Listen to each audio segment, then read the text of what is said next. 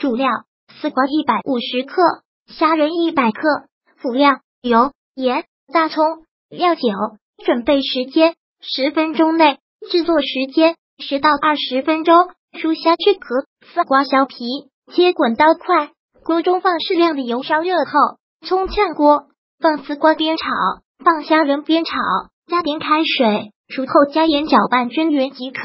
烹饪技巧五：如果喜欢本视频，请分享并订阅本频道，访问 T T News X Y Z 获取更多相关资讯。